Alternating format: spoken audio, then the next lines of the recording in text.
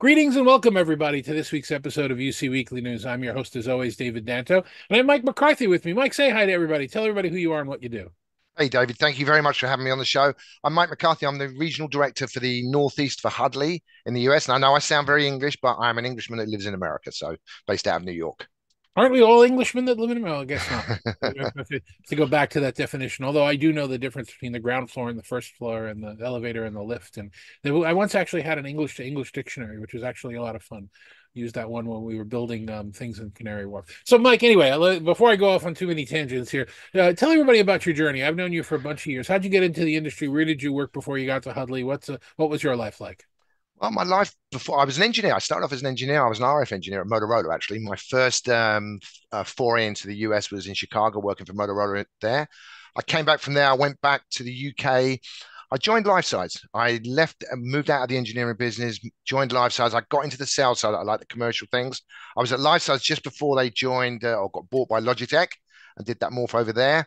Then I spent. I was there for two or three years running their enterprise sales out of London.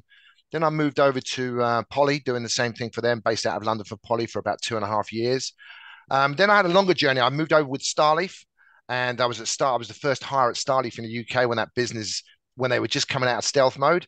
Um, and I built the business for them over there for over about a four year period. And then they they originally sponsored me to come to the US. So I moved out to what New Jersey and based out of New York um, for Starleaf. Um, did that until I mean, they had a bit of a calamity during uh, COVID, kind of caught them out. They were very, very focused on the conference room, win the conference room, win that space, and the software is a gimme. And then COVID kicked, and that hurt the company, and that was their kind of their demise, which was very unfortunate. I moved away from there. I, I, then I took a little bit of a move. I moved over to a company called Utelogy, who do um, monitoring and management and type of stuff. Did that for about eighteen months. wasn't uh, you know it was okay, but it wasn't my thing. My forte has always been from uh, the video conferencing collaboration marketplace. Um, so I was looking for a while to find someone to come back in. I was looking for something innovative inside this industry.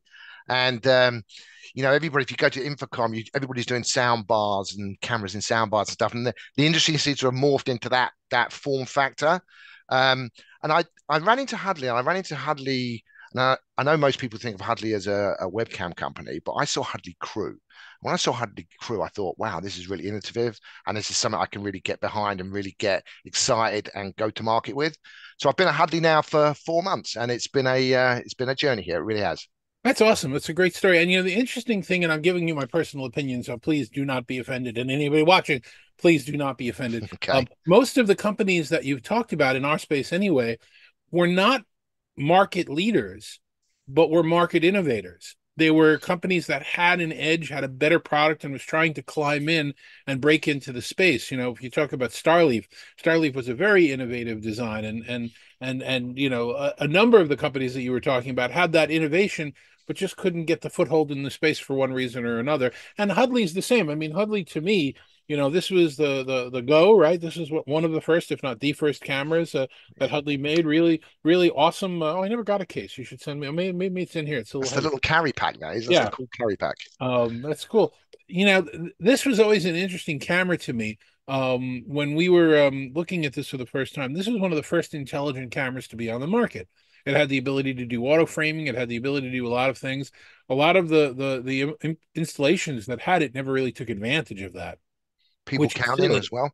Right. It had all that built in, but you had to actually use it. And very few people did. I saw, you know, I don't know, like 20 million of these installed in Google at one point, and they, they had it. They certainly could have used it. They had the data, but they didn't. Um, but but the other thing that was interesting is that this is really a conference room camera. It's meant for small rooms, but it's got a form factor of a personal camera which was actually really interesting in the space. So, so that's one of the reasons why you know our, I, there was an old commercial for candy in in the U.S. I don't know if it's around anymore. Razzles didn't know if it was a candy or a gum. You know, I don't know if there's a personal camera or if there's a conference room camera. But but as you mentioned, you know, the what you're doing now with Crew is very very interesting, and and let's actually talk about that for a little bit.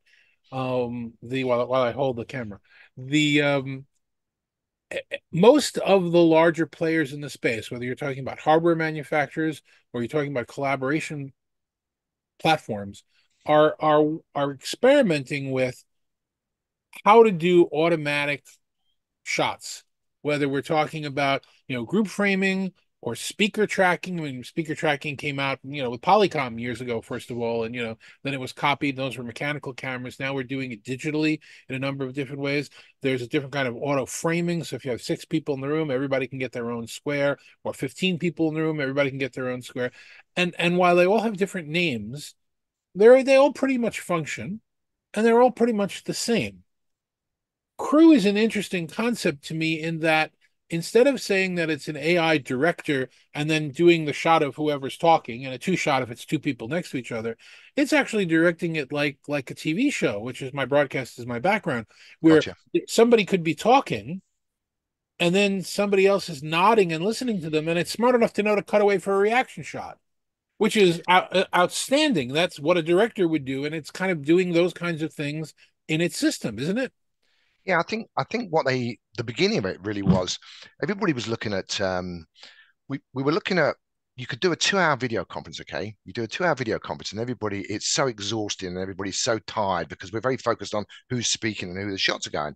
And I think the uh, the bright guys back in Oslo, they basically went and said, okay, let's go and talk to some film directors and work out how why is it I can watch a movie for two hours and enjoy it and really be excited by it, and I can't do the same with video? And they said it's the way that you you you perceive the whole room and the whole shot. And that was about you've got the people speaking, but you're looking for reaction shots, you're looking for wide angle shots to see the whole environment that's all happening at. And that's what they build it on. So what we do is we basically have at the moment we have three of our L1 cameras. You can use them individually, and they still have a director on an individual one if you want to use it that way. Um, you set them up in the room you start the call and the cam one of the cameras becomes the director for the whole overall call so it's taking all the shots from the other calls and it's sending what it thinks is the best shot back to the other end and it's just a different way of doing it and i think if you're on a if you're a remote participant coming into a call you get the focus on the speaker all the time and you want to see the reactions around them you know the, the, you're talking and you want to see is that person speaking it. I'll give you I'll give you a really good example it worked for me. So when I was interviewed by Huddly, they I was talking to the um, COO who was based out of uh, Oslo, and he had the VP of Sales for North America sitting with him in the room. And I had another gentleman who was the um, VP of Sales for the UK, well, for Europe, sitting in another window. So I had him in the window; I can see him all the time. Daniel um, Johansson, who was the guy who was who was the COO, was talking to me. But I want to see what the I want to see what the VP of Sales is thinking, right? So I'm giving a reply to an answer. I can see the guy in the separate window. Now I can see when he's nodding at the side. So I'm getting this feel for the whole room. And when you suddenly, it's one of the really subtle things that when you use it, you go, wow, this is quite clever. This is really quite clever. And I feel much more comfortable in the overall environment I'm working in. That's what we're doing here. And, and I should have said this earlier. You know, right now we are this was recorded uh, a couple of days before you're watching it at least we are at the gaylord palms right now at enterprise connect so if you happen to be at enterprise connect or if you happen to be in florida um, in orlando you know you should bop in and take a look at this you're going to have a demo of this set up on the floor right so people can actually see it in action yeah, we have a three camera system in there at the moment, and we're showing a couple of different things. We started off with this, what we called collaboration mode. And our view was that you shouldn't have people in the room with remote controls setting different cameras, doing different shots. Just put the cameras in the room and let the camera decide what's the best shot for the other end. Okay.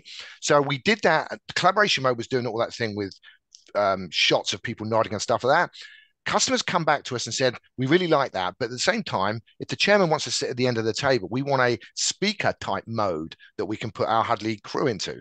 So now we're showing, so you'll see it in the show, we're showing the collaboration mode and the speaker mode. And I think what you're going to see us evolve in is different types of mode. Maybe we'll have a TED Talk type of mode where it's a presenter on a stage type of mode. But we've got, because we do all the process and everything in the cameras itself, so all the processing powers in the cameras, we can actually manage that and we can load that up and set different modes with the cameras. So we're kind of agnostic from what platform you're on. Everybody's using Google, they're using Teams, they're using Zoom, okay? And everybody's got their different types of shots they get from that. With Huddly Crew, when you walk in the room, you're going to get the same experience independent of what the platform you're working on. That's what we're going to be showing at the show this week. And and we were talking about it before we started recording this. You know, it's it's it's a trend that you're going to start to see more AI pushed down to the endpoints from the cloud. And the example that we always talk about is if you have the self-driving car and it's about to hit a woman pushing a baby, you know, it's not really a good idea to have to go up to the cloud and ask it, is this the right thing to do or not? It needs to be able to make that decision at the endpoint much more rapidly and it'll report the data to the cloud. It'll have the database up there. But, you know, we're going to start to see the, the, the, the AI compute being much more important in devices because of the speed of processing that's going to take place. So you doing it on the device is going to be a much more rapid way of getting it done in a, in a more effective manner instead of having to count on the platform to do it. Yeah, exactly that. And and if something dramatic new comes up that everybody likes, we can just push it out as a firmware update into the cameras themselves and manage it from there. And our director will look after it from that side. So, so I have a white paper out. I don't remember how many years ago, 10 years ago, 12 years ago, where I talked about the next generation of cameras is going to be camera arrays where the cameras are all connected, just like microphones are all connected and they're figuring out what the right one is. Cameras are going to be all connected. You're doing this with three cameras now. I assume it's it doesn't take a rocket scientist to think that at some point in the future you could be doing this with four cameras or five cameras or or tying in people's cameras on their mobile devices or whatever and have it do the same thing. Just pick from whatever the shots are that are available. I think if you come to InfoComm in uh, June, you'll probably see something very, very much, very much like that. We we kind of believe that a space is a space. You want to be able to put as many cameras in the space to get the environment that you want. I think when I spoke earlier about everybody doing soundbar type of things now, we actually started to limit what we could do with a room with the cameras. I'll give you an example. I'm, I'm in New York. We have customers got E70s, Polycom E70s, and they put them in because they were teams and they were team certified because at the time that was the only product that was right for that. But what they did was they stretched the boundaries of what they could actually use those in. So if you get a if you get a conference table with 25, 30 seats on it, and normally the person who's running the call is sitting at the far end, with these 70 now you're starting to really test the focal length of the cameras there. Those are the sort of environments we just drop right into because everybody's morphed back into that smaller space and not into the bigger rooms. So that's where we're really starting to find some traction in the market. Yeah, it's it's it's it's very interesting, and the E70 is a terrific camera. Although uh, you know, it, it should have been a consideration that every display on the planet, except for the more expensive medical grade ones, are black, and making a camera in white. I don't know. I you know that's w- w- things like that are are very uh, uh, helped by having end users involved in an advisory capacity before you've made decisions. Oh, gotcha. Um, and when you don't have that, sometimes the decisions are not the optimal ones um, there's an opportunity to make changes when you get input from users. If you look at what else they're doing, the Eagle Eye Director was, uh, you know, that was before its time and a, a, brilliant device, but they're end of life in that device. And I was literally in New York yesterday with a customer who's got those. And there's a couple of things. Number one, it's end of life, so they can't replace them as they go wrong. The other problem they have with them is when you do that bowling alley view down the table, if you're trying to, if you look really way down the side, you start to get this cascading of people down the side. Huddly crew, we can go a little bit higher and look over the top of people and start to pick out those shots better. And imagine if I didn't have just three cameras and I had another couple of cameras in the room looking at that other end of the table. It's a great, it's a great example. Another great example is you have rooms that split. And what I see is people split the rooms, push the tables together, and they're starting to use Zoom with two cameras on. And they have one camera look at this end of the table, one at the other, and you have the two pictures in the Zoom frames. Okay. Imagine putting crew in that environment. So I've got that whole coverage. I can see all the way along the room. That's uh, that's that's the place we're looking at. Yeah. Oh, absolutely. And then you know, camera technology is getting better and better. Um, I think the more uh, uh, pixel power you have inside the sensors, the less you're going to need to be dependent on optical you know zoom right now we have that dependence once you get out to as you point out about 20 or 30 feet you need to put in a camera which you know I, I'm, I'm very deflated by by by new optical lens zoom cameras. When we went so far with the EPTZ we we should have just kept pushing kept the up there you know as as an industry. And and and because I I mean I know there are some some theaters that have um a fixed very high resolution sensors up on the balcony in front always recording everything that's going on on the stage. And then in editing you do your zooms and pans and everything else. And you know it's not it's not the the the um the most artistic production but it sits there all the time and it always works. So crew is kind of a collaboration enterprise extension of that kind of concept but it's doing it for you automatically. You don't have to edit it after the fact yeah, gotcha. So, uh, so really interesting, interesting technology coming out. Anything you can hint at other than you know we were hinting at numbers of cameras? Anything else you want to hint at that we were talking about when you get together at InfoComm? I think the I think come and see us at InfoComm. I think in InfoComm we'll have we do what everybody else has. We'll have a booth, we'll have a private area where people can book themselves up and come and see some of the latest innovations that we're doing. Maybe it's five cameras, maybe it's seven cameras. Who knows what they're going to show at the event? Um, but it's it'll be worth coming and having a look at it then, just seeing what we're doing in in that space. Yeah, that's that's that's the the the uh, the Norwegian uh, history of our industry from uh, going back to Tandberg, where you had to uh, sign an NDA to see the NDA. Um, it's, it's, always uh, always been a lot of fun and interesting. And there's uh, you know it's a diaspora. There's that DNA in everything we have in our industry right now. I think I find I haven't worked for a Norwegian company before, and I think I find that they're very, very cautious about letting things into the marketplace before they're completely ready and completely yep. tested and stuff like that. And you know, having worked at somewhere like Polycom, where the, the marketing leads the actual product six months before the things actually launch. And I'm not picking on Polycom there because that happens with a lot of companies, but with the Norwegians, they're very much, you know, that Tandberg thought is let's we're not going to talk about it or even re- tell people what's going on until we're ready to release it. Um, and, and I actually quite kind of like that that that plays to my engineering background, not my sales background. Yeah, don't don't don't show a fantasy. Only show it when you have a real product that's working, and that when you're shipping it, and that it's dependable. Yeah, uh, that's a different story. There's a lot of stuff that goes out on the market that you know that gets returned or needs software updates to work, and we all become uh, beta testers and end users from a lot of different companies. So, um, I, re- I remember I was at Lifesize. It was exactly that. We uh, I was working in London, and the big banks like Dresdner Kleinwort and people like that would like stop doing your beta testing on us. We're happy to do it, but at least tell us it is beta. but that's when you're chasing that market was chasing that HD technology, and it was a very rapid moving market, and it was fun. It was a good fun market to be in it's still rapidly moving now, but now it's rapidly moving to commoditization.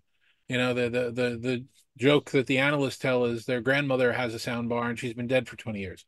So it's it's it's it's it, there's a lot of and there are going to be new companies as we walk around this week at uh, Enterprise Connect. They're going to be companies we've never heard of showing these same form factor products. Are they good? Are they not good? They're certainly going to be cheaper. I don't know we'll see. It's it's been it's an interesting uh interesting space for all of us to be in. So, yeah, Mike, I appreciate you taking the time to to join us here. If somebody wants to find out more about Huddly or find out more about what you do, what do you suggest they do other than um, visiting us here at Enterprise Connect? What what else? Come and see us at Enterprise Connect. You can see everything we do and everything we launch and, and release on Huddly.com. Um, and if you want to if you want to deal directly with me, it's mike.mccarthy at huddly.com. I'm happy to chat to anybody any day. We spend I guess as a sales team, we spend most of our time with uh, three tripods. I've got it all over here. Three tripods in the backpack with crew, and running around uh. So we're quite happy to stick it in people's environment. I think it's one of those things. When you demo, you're in the right place, and you need to see it in your own environment to understand how good it is. I went to a very big, very very big pharmaceutical manufacturer based in Hudson Yards here, and when I put it in their E70 room, they were like, wow, it's just a completely different experience to what they had before. So that's the sort of that's the that's the reaction we like to get. Mike, thanks very much. I really appreciate you taking the time to explain all this in Huddly, and we'll definitely uh, take a look uh, uh, at Enterprise Connect while you're there and all the other trade shows for the rest of the year. Okay, thank you, David. And thank you very much for watching every week. Uh, next week's show on April 1st, we're going to have Eric Hansen, the CM- CMO of Mitel, um, joining us and chatting a little bit about what his story and what the Mitel story is. But until then, thanks for watching us. We'll see you next week.